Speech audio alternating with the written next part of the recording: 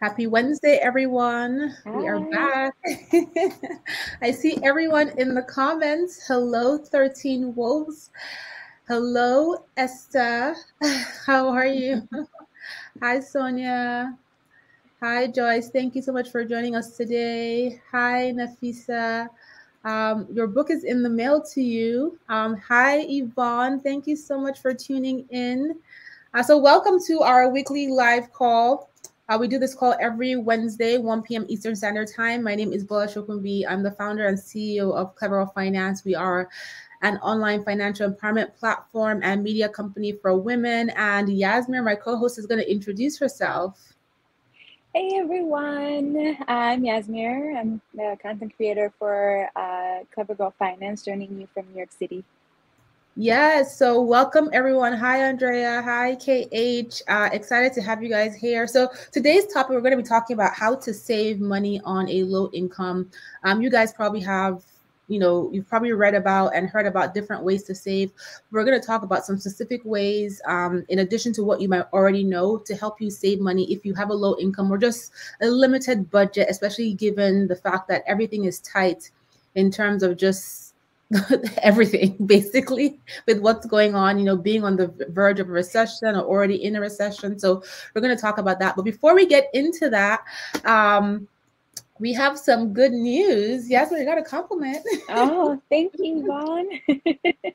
so the good news is that the books, the final copies of the books are here. Well, I have my copy, my copies, and you guys should start getting yours in the mail soon. I know Amazon is planning to deliver on July 6th, which is the official launch date. But I'm so excited to have this. And because we have this, we're doing another giveaway. So this is my new book that comes out next week Wednesday or Tuesday, July 6th, 2022. And this book is all about just my personal story, um, what has led me to this place, being a Black woman in America, raising my kids, building a business, facing imposter syndrome and mental health challenges, and all of that. So, July 6th. So, we want to give away one of these books. And um, if you got this book in a uh, giveaway, the uh, galleys, I would love to know if you have read it what you think about it. But yeah, so we're just gonna pick someone randomly from the comments um, to send a copy of this book. Yay! so I see um, Thirsty Wolves Yasmin. She said your curls are always popping. oh, thank you. okay, so let's get into today's topic. Yes. So, as um, Bola mentioned, we're going to talk about how to save on a low income or low budget. Um, and we're going to go into ways that maybe um, uh, we ways that we haven't thought about. Um, of course, you know, budgeting and, and um, spending less than you earn is um, a, a good uh, tip to use um, but there's also other ways um, and and you know it could be a little bit challenging to save money on a low income. Um, i know this from personal experience uh, making uh, at the beginning, very beginning of my career, $16,000 a year, living in one of the most expensive cities in the world. Um, it, it, it was a pinch, but you know, I made it work. So it is possible. Um, you know, you don't have to sacrifice your future. You don't have to sacrifice um, your retirement. There, there's definitely ways that you can save um, money on a low income or low budget. So Yasmin, you said living on sixteen thousand dollars a year in New York City. That is crazy. Yeah, and you figured it out. You made it work. And you know, it's sometimes navigating finances when, when you're not earning as much as you want to in that moment, or when um, you're facing just limits i mean issues with income or uh, emergencies it can be very uncomfortable. It can be very stressful but like yasmin said it is possible to overcome it and navigate through it and get past it. So um, let's get into some of those tips. Yeah um, so tip number one is to see how you can lower your housing costs. Um, it, according to the us bureau of labor statistics um, on average, people spend about 40% of their income on um, housing. So, renting or um, paying a mortgage, Um, so it's it's a huge expense. So uh, if you can, just try downsizing. Um, that's a good way to save money there. Another way is if you have the space, you can rent out a room or part of your home to someone. It's a good way to um, have passive income. Um, there's also uh, living in with a roommate. That's how I've been surviving here in New York City. My roommates are my mom, my sister. so, um, so yeah, just thinking about how to cost, um, how to um, lower your cost of housing uh, will be very beneficial since a, a, a lot of your income or everyone's mm-hmm. income goes towards housing. Yeah, so the rule of thumb is and you know take the rule of thumb with a grain of salt so the rule of thumb is that you don't want to spend more than 30, 33% of your income on housing. But the reason why i say take that with a grain of salt is because it really depends on where you live and what the cost of housing is. Um, some cities are just extremely expensive san francisco new york where it's difficult for your for you to spend only 33% of your income on housing even when you're being super super creative. Whereas there are some places where some people spend 10 15% of their income on housing. But the rule of thumb is that you want to aim for spending no more than 33% because you don't want to be house poor or apartment poor, which means that you have all this this expense you have this expensive apartment this expensive house but then you can't afford to do the other things in your life and so lowering your housing costs is one great way to just navigate managing your finances when you have a low income or limited budget um, you know, like Yazmir said, it could be getting roommates, renting out portions of your of your house, moving further away from center city. Right, the center city of any state is of any city is usually the most expensive area. So how further, how much further away can you move in terms of your commute away from family or friends?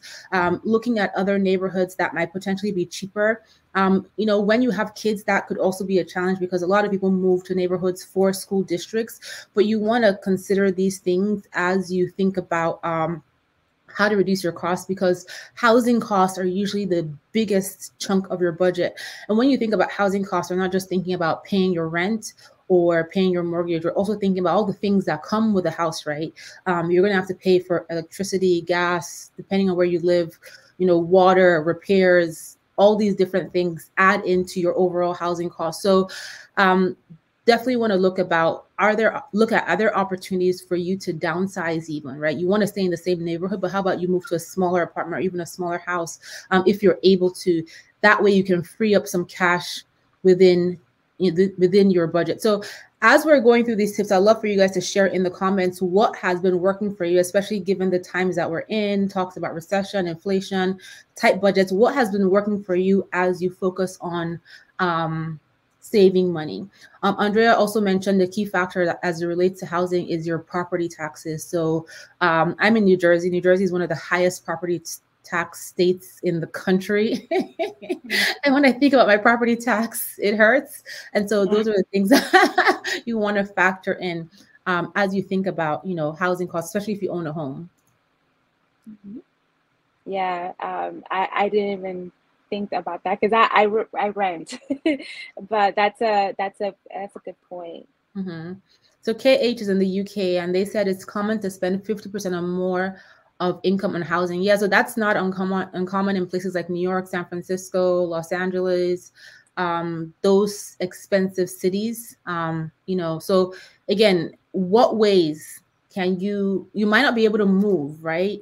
Uh, but can you bring someone in to occupy a room for a limited period of time, a family member and somebody to, to help reduce that those costs, especially if you have the space. And it can even be temporarily until you you know you start feeling more comfortable uh, about how much you have saved until you're able to increase your income and etc yes. Folks are sharing their their tips in here. Stacy says she eats less meat she also dropped cable and got sling. Cable is a big expense. Yeah. Barry, Anita, he said, live with your parents or family and friends if possible. These are all great tips. Yeah, so let's keep going. Yes, so, um, someone did mention um, food, and that is the the next tip.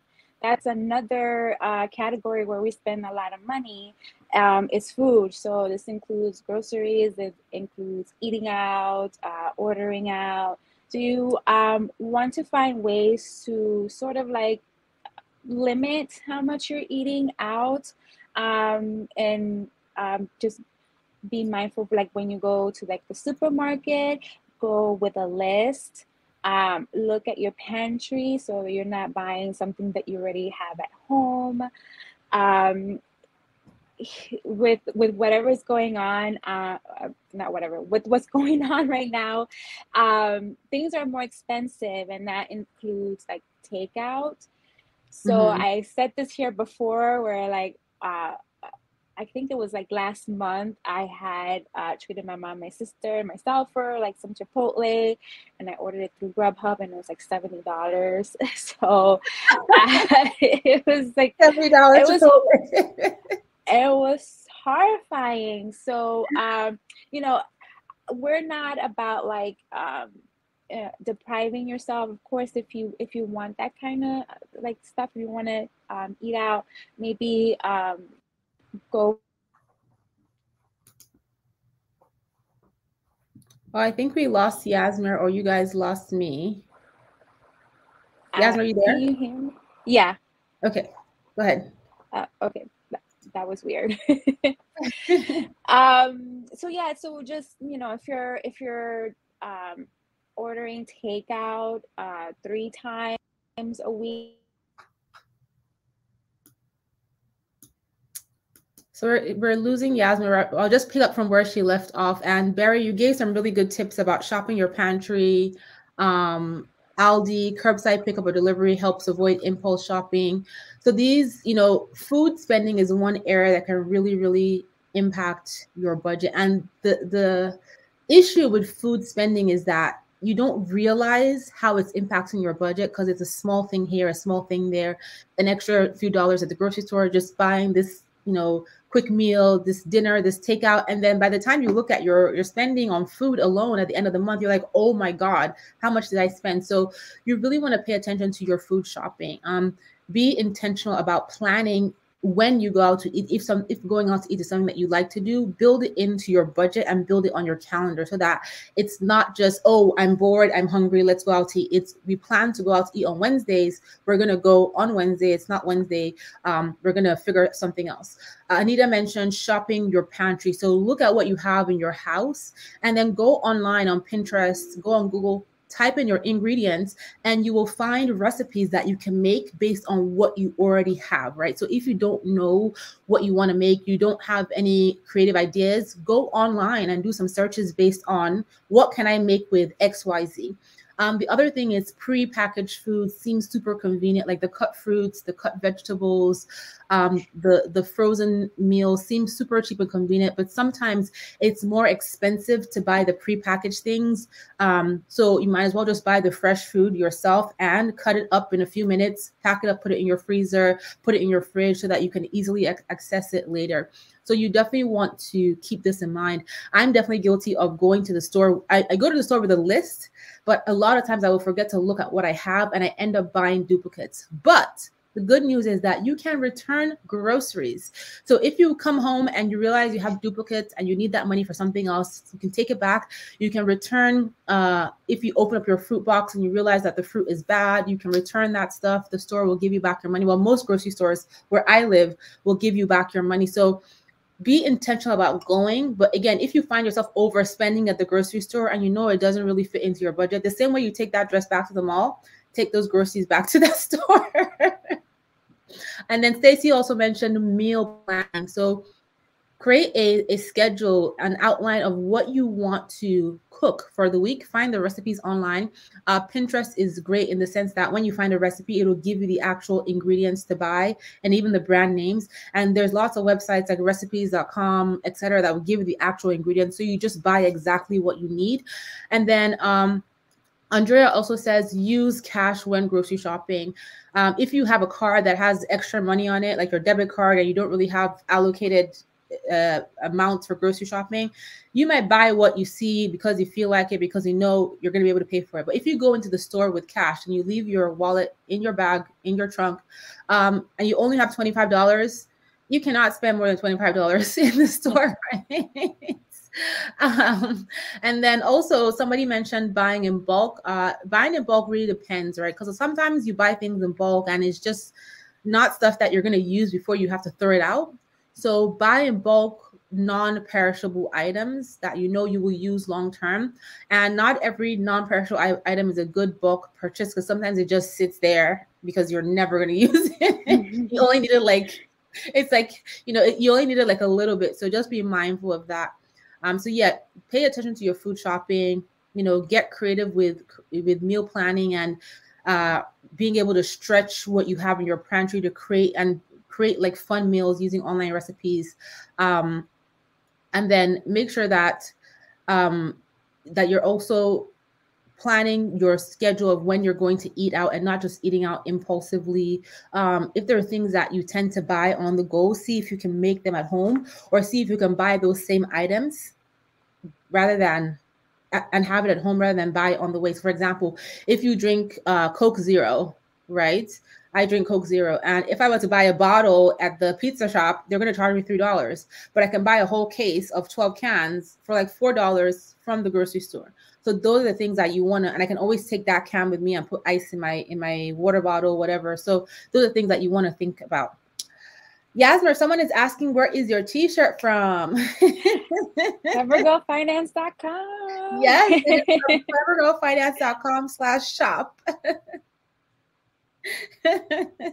One of my favorite t-shirts. I, I should I need to wear mine more often. Okay, let's keep yes, going. yes. Um, I just want to add like uh one more thing to that um because it, it, just this reminds me of like a, a, story that i have but um so when you are invited um by your friends to eat um to eat out you want to go with your friends um you know don't don't you don't feel like you have to go by like their suggestion. Um, I remember a friend of mine last year, um, we haven't seen each other in a while, we wanted to get together, and I had suggested a restaurant not really like looking at like the pricing, but she noticed and she's like, Yasmin, are you crazy? We're not going there. We're gonna go to somewhere cheaper. So we ended up like going mm-hmm. into a, a local um, Mexican restaurant and it was great. It was fun. Um, so you know, just make suggestions with your friends. You can let them know, um, you know, if you feel comfortable, hey, I'm on a budget right now. Um, can we find somewhere where it's like a little cheaper? Um, and yeah just do that don't feel pressured like you have to go and spend a lot of money yeah out with your friends yeah it's okay to say no and it's okay to state the amount of how much you have to spend on you know that eating out I see people talking about my Coke Zero. Yes, we only drink Coke Zero around here. We don't drink regular Coke. We do not drink Diet Coke. Um, Diet Coke and Coke Zero, for all of you guys who think they taste the same, they do not. And we sure as do not drink Pepsi. Don't come for me. Uh oh. we don't drink Pepsi here. I actually don't have any Coke Zero today. I ran out, so I'm drinking water. Oh. okay. Let's keep going. Yeah, uh, third tip is to find free or affordable um, entertainment um, that's another um, expense that we don't really think about um, maybe because we're not like doing it often and then when we do we like spend in a big way but you don't have to um, there are um, like for example if you like to go to the movies i like to go to the movies um, there, there's there's matinees so there's you know just look into like your um, movie theater like what day and time that is some movie theaters are like oh saturdays at like 10 10 a.m. And I know people are yeah. like, "Why am I gonna go?" but but you you know it's a it's a good way. It's it's more affordable. Um, I know AMC theaters uh, on Tuesdays they cut their uh, movie tickets in half. So if you go on a Tuesday, that could be Tuesday anytime. Um, you can see uh, a movie half half off. Um, I don't buy food in the movie theater because they're ridiculously expensive. What I do is that I eat before going to the movies or right after. Um, I take my big bag and I put all my kids' snacks in it. See, I, I don't know if I should say that. I do that too. I take my my big bag or my coat that has all the big pockets. yeah, I I do the same too. I was like, mm, I don't know if I should do that, but yes, that's actually good. Just take a snack with you. Um, there's also um uh, museums that offer um, free or affordable admission. Um, I am fortunate to live um, near a lot of museums here in New York City. And the good thing about it is that um, if I go to um, one of the museums and present my ID, because I live in the neighborhood, I can go in for free, or all I have to do is give a donation and I mm-hmm. and, and I can go in. Again, it could be something as small as like two dollars. Um, so definitely look into that. And there's also Groupon, um, where you can find entertainment um, at a very low price. Um, I love using that website. I go on there for ideas on like, you know, if I wanted to go eat out or, you know, I wanted, I don't know, like to have like a spa day, um, um, do things with my friends mostly. Mm-hmm. Yeah, um, definitely looking for free entertainment. Um, you know, sometimes you you feel like you have to pay for everything because of where your friends or family want to go. But again there's free museum saturdays. I know a lot of museums in a lot of cities in the us do first saturdays free or first weekends free or you can always go on their website to find out. And you can basically visit the, the museum at certain times um, to to um, uh, to, to tour the places. Uh, AT&T offers free HBO Max, by the way, if you guys have AT&T. Uh, and I know that there are some other phone services that offer free subscription services to the, the streaming platforms. So that's personally worth looking into like we were paying for HBO Max and then I realized I have AT&T and they offered it for free as part of my package. Definitely looking to and then it's sometimes it can be hard to cancel cable. So we still have cable because my husband watches live sports and people who love live sports don't play with their live sports. I don't watch any live sports, but it's like this can cause serious problems if there's no live sports. So you definitely want to look at your cable bill and determine what you don't need because your cable bill is structured in tiers, right? So the first tier might be all your basic channels, the second tier might be live sports, the third tier might be premium channels. And a lot of times when they're selling you the package, they're selling you combined tiers, but you might only want basic channels and uh, sports. Mm-hmm. And I used to work for a cable company in my corporate America days and we used to i used to get free cable. The free the whole thing was free. Every single nice. channel. And pay-per-view was heavily discounted. I think we got like 70% off. So i had no concept of what cable bill was. And then when i mm-hmm. left that job you know they were like oh do you want to just move over all of your your services to your paid account? I'm like sure. And i get my bill and it's like $600 i was like what? No cancel this cancel that cancel this cancel that. Take it off so definitely look at your cable bill and determine, you know, where are you um, paying for stuff that you don't watch, right? A lot of times you will get a package deal, a better deal if you have cable internet and like cell phone service or like home phone service with your provider. So look at um, that as well to see how you can save money there if you need to have cable. Otherwise, streaming services are great. Um, there's also lots of free streaming services um, or very mm-hmm. low cost. Like YouTube has a streaming service that's very inexpensive. I believe the Peacock streaming service is free. Um, and there's a couple other free ones. Um, if you have a smart TV, for example, Samsung Smart TV has a free streaming um, series of channels on the smart TV, and they show you know really awesome shows. So Barry said, I'm not going to tell you to share streaming services. share your passwords and your login. well, a lot of these platforms now have limits to how many of your, how many people can um, share. There is one comment I saw on here. Great point um, me 77 for sure. There's one point I saw on here about food I wanted to go back to. Somebody left a comment. I believe so. Stacy, she said for people who don't cook different meals, you don't cook a zillion different meals, or you don't have time to try recipes, create a capsule meal plan where you rotate 15 or 20 meals or less. Mm. That's super smart. Like just rotate meals. I have like six meals I rotate. That's, that's it. good idea. But that's a really great idea. Thanks for sharing that. Um, I see a lot of comments in here. So Andrea says um, she shared a tip about uh I just lost the screen. Okay. She shared a tip about getting shopping around for better car insurance rates. Yeah. So once a year, I always do that. Not just car insurance, but even cell phone rates, even cable rates. If you have competitors in your in your um, area, they want to keep you. Um, they may offer you a better rate, or you may find a better rate by doing by shopping around. So definitely looking to better car insurance rates at least once a year, cell mm-hmm. phone rates, and cable bill rates as well.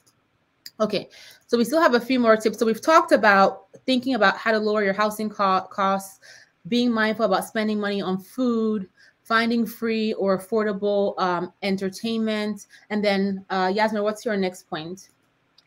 Um, so the next one is someone um, mentioned it, um, but the cash envelope mm-hmm. system. Mm-hmm. Um, it works well. It's better than using a card because then, you know, when you're using a card, you're not really like mindful of what you're spending. But when you take um cash then you're like you know you're more careful of like the items that you choose and what you're buying um so the way that the um cash envelope system works is that you um you know you set up your budget and then you put the amount that you set up in your budget in envelopes um, so that you know when you go out you're not overspending um, i find it that when i use cash i spend less so um, definitely something um, we encourage you all to try Yes. So, uh, by the way, Anita is dropping some gems here. She's talking about um, her library. Um, hold on, what did you say, Anita? the comments are like going really quickly. So she talked about libraries. Uh, she gets access for free through her library to museums, the zoo, and LinkedIn Learning. And then she also mm. talked about looking at your cell phone offers. She got a free year of HBO Max through her Amex card. I got HBO Max through my AT&T mm. phone uh, service. So um, yeah, so Yasmin, what you were saying about the cash envelope system, I've heard people tell me that cash envelope is unrealistic because I can't put all my cash in envelopes and carry it around. And so it is not unrealistic. You just have to create a hybrid that works for yourself. Um, mm-hmm. Um, I find that for most people who leverage a cash envelope system, it's based on a hybrid model, which means that there are certain bills that you automate where, you know, maybe your your mortgage payment, obviously you're not going to find, you're not going to take cash to the mortgage companies, wherever, you don't know where they are, right? You live in New yeah. Jersey or Colorado. So it makes sense to automate those types of payments. You automate your Netflix payment, you automate your cell phone payment, it comes out of your bank account. But then for your day-to-day spending, you know, you then use the the envelope method where you have an envelope where you put your grocery money for the next two weeks until you get paid. You have an envelope where you put um, your your eating out money your um, getting your hair and nails done money whatever it is. You have these envelopes for your day-to-day expenses where you don't need you don't necessarily need to automate them right? And you can spend from that envelope. And once that money is done based on your budget then it's done, right? And if you don't spend from one envelope, you can move the money into another envelope. There are mm-hmm. apps that allow you to create quote unquote digital envelopes. You can check your app store. But the key with the envelope system is number one, you want to make sure you're keeping your envelopes safe, right? So securely in your handbag, in a binder. Um, and number two, you want to make sure that um, you're sticking to spending just on those envelopes, right? So you're, you you buy groceries, your envelope is finished, then you're like, oh, I'm just going to use my debit card because I have a spare hundred dollars here. That's not how it works. So mm-hmm. you want to automate what needs to be automated, and then fo- focus on using cash for the the categories you designate you want to use cash for. So you might decide, you know what, I'm going to use the envelope system for just three areas where I struggle, right? Groceries, eating out, stuff for my kids those could be three areas that you know what I always overspend every month. So I'm only going to use envelope specific cash for these three categories. Using the envelope system doesn't mean that you need to change your whole budget and everything has to be in cash. You can just pick and choose what areas you're struggling with and give yourself a fixed amount of money for those areas as well. But it definitely is a, a great way to be more intentional because when you're bringing out the bills from your wallet, you're it's not just like when you swipe a card, you don't see the numbers, you don't see the you don't see the money go. You just see yeah. the page, you know, on the thing. But when you're spending cash, you have to count it and then you have to look in your envelope and see, wow, I just gave out 15 bills. I only have three bills. There's some psychological. yes. so definitely um you know think about that and then someone asked about saving um, automation definitely works best because when you automate your savings you're likely to save more money because you don't have that mental debate whether or mm-hmm. not you save because the money is already gone so can you automate your savings can you have your payroll uh, deposit x amount of money every time you get paid into savings or can you set it up that whenever you get paid that same day a certain amount of money comes out or a certain percentage comes out, right? So many payrolls will allow you to set up uh, percentages of your income to go to a savings account. You can look at that as well. Mm-hmm. Um, so it's all about getting creative with um, minimizing how much you spend and paying attention to to how you are spending so that you can find opportunities to save. The other thing I want to talk about really quickly, which is um, not really a topic of this, but it's that when it comes to cutting back and saving money, low income, limited budget, there's only so much you can cut back on, right? Because at the end of the day, you still need to live somewhere. You still need to eat something. and you still need to live your life. So you get we're talking about cutting back, but we do understand that there's only so much that you can cut back. You cannot cut out your whole life because you have to live mm-hmm. life, right? So once you have cut back what you can cut back, the next thing I want you guys to think about is how can I increase my income? How can I get a better paying job? Maybe a part time job, maybe start a low cost side hustle that can bring in some revenue.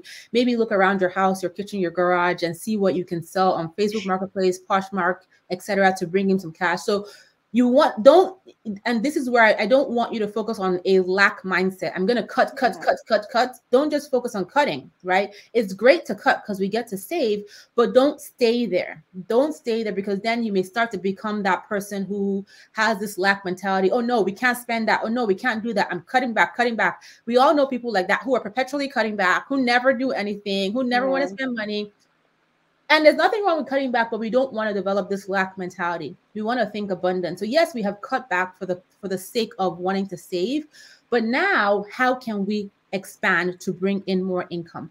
And mm-hmm. this means getting uncomfortable, right? Working extra hours, part time job, side hustle, interviewing for a better job. But the whole idea is bringing more money in, pursuing an abundance mindset for yourself. I just wanted to state that because you know we're talking about cutting back but don't get stuck there. Also think about how can you bring more money in. Okay so i'm off of my soapbox. Uh, yeah. I think you have another point yes yes um so these tips are um meant to be temporarily. Of course if you if you like it um yes because you know you want to save for other goals but i totally agree with Bola. It's not we don't want to create that kind of, that lack mentality. Um, I don't I don't think it's healthy. So like as we mentioned, like this is just for like um, if you are on uh, low income or limited budget.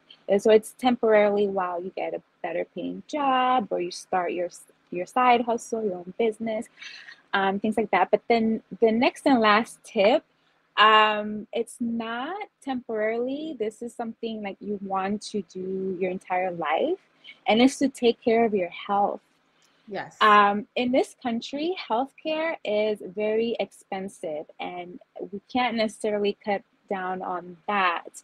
So it's best that we take preventative measures. So exercising a little bit more, um, eating right, um, exercising doesn't mean that you have to get a very expensive gym membership. There's um, exercise videos that are for free on YouTube. Um, there's apps that offer um, free exercise that you can do at home. Go um, outside. yeah, go outside. Even walking 30 minutes a day, that's exercising. Um, and with eating right, um, people think that um, eating healthy uh, is expensive because they think, oh, I have to buy things organic. No, um, I, that that's a myth. Um, eating healthy is not expensive. Um, it'll be expensive in the long run if you're not taking care of yourself mm-hmm. now. That's such a that's such a key point. Yes. So he, eating healthy is not expensive uh, for the sake of your well-being it'll be more expensive in the long run if you if you get into medical issues that's so so important Um, yeah, so your your so before your financial wellness, you know, like if you're going to create a priority of what's most important in terms of wellness. A lot of people think money is the most important part, but it's not. It is your health and mental wellness because if you are unwell, you cannot do anything to make money. If you cannot get out of bed, if you are sick, even if you're making passive money, you cannot enjoy your money. So your health and your mental wellness are priority, whether you're earning a low income, a high income, limited budget, no limited budget, you want to prioritize your health and your mental wellness because when you are healthy pursuing you know good health you're mentally okay you are you are in prime position to be to be um optimistic right? You are in prime position to get creative, to do things, to change your situation, increase your income, cut back, earn more, all those things. But it starts with you being well. You have the energy, you have the motivation, you you know when you feel good. So it's really important to take care of yourself. So incredibly important. Mm-hmm. Um, you know, and then the money part is secondary because if you look at studies on the happiest people in the world, they come from the poorest countries in the world and they earn nothing. They earn pennies mm-hmm. a day, a month, right? A dollar a week, whatever it is. And they are the happiest people in the world because their heads are in check, their health is in check despite the little that they have. So you want to prioritize that. It is so, so important. Um, money is not everything. Without your health, money is actually nothing, right? Um, so definitely take care of yourself. And I've seen just going back to the uh, earning more, Anita mentioned some really great tips here about look at the life skills you have that can be used. So driving, tutoring, babysitting, customer service. There is a podcast episode on Clever Finance about it's it's called how uh, a lady used DoorDash to pay off her student loans, and she was a certified, I believe, a certified accountant. She had an advanced degree. She couldn't get a job and she started doing DoorDash. And I think she paid off like 70 something thousand dollars in loans in one year. And she was driving from morning till evening. And she said people will call her and say, What are you doing? And she would say she was running errands because she wanted to get that debt out of her life. She wasn't earning money and she didn't want to just wait for her job to come, which took a few months for her to get it. So what can you do to get creative? When we say earn more money, sometimes it's not going to be comfortable, right? When I first graduated college, in between getting my first job and finishing college, I needed to get a job because I wanted to make money. And I had my degree, but I still got a job at CVS working at the photo department, earning like 550 an hour because I had time and I had no money. So don't be ashamed to work at less than your skill sets temporarily to achieve your goals right? Don't be um, embarrassed to work a part-time job. You don't need to tell anybody your business. You don't want people to know. Tell them you're busy. You're watching netflix. You couldn't answer your phone. Whatever.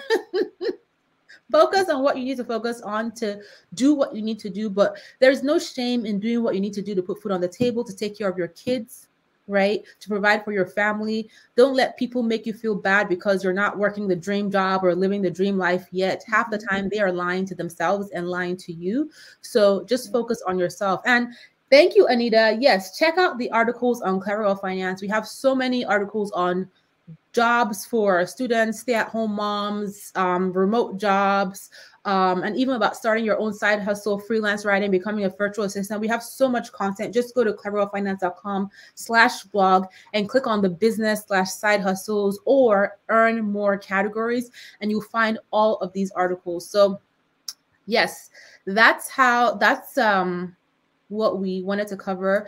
I see someone talk about building an emergency fund on a low income. Maybe we'll talk about that next time or in one of the um, upcoming um, lives. But yes, so thank you guys for being here. We have a giveaway book, and I already know who it is because she's been popping in the comments, and it is Stacy Jordan. yeah. so please send an email to cleverfinance.com. No, to hello at cleverfinance.com. And just tell us one of the comments that you shared here in the chat so that we know that it's you and we'll get this sent over to you. Um, don't forget, this comes out July 6th next week. Oh my God. Yes. So exciting. If you haven't picked up a copy, please do. And if you are in New York City, uh, the book launch is on um, Jan- January. I'm so tired. I am so tired, people. I, I I slept at 12. I woke up at 4:30. I'm almost delirious right now. But anyway, um, if you are in New York City, the book launch is on July 9th. We would love to see you. Yazmir will be there. I'll be there. Esther will be there. Um, other folks from Team Clever Finance will be there. It's going to be a great time. We're going to have mimosas and hors d'oeuvres, and we're going to talk about this book. So to get the details, um, go to either our YouTube community page or visit Claro Finance on Instagram the very first posts are details of the event in New York City on July 9th. It's Saturday, and we'd love to spend time with you guys. So pick up a copy. If you borrow books from your local library, ask them to order this book, right? Um, so I want you to support me, but not at the expense of your um your budget. So you know, if you borrow books from your library, contact your library, have them order this book. This book's going to be available as an ebook, audiobook. I'm recording the audiobook tomorrow, and I just would love your support. So, yes, we'll be back next week, Wednesday. yes, do you have anything to add? no, thanks everyone for being here and um, leave us a comment on any topics that you would like for us to talk about in the future. Yes, thank you guys so so so so much. And Stacy, don't forget to send us that email um, once you get a chance. So we'll talk to you guys next week. Bye. Bye.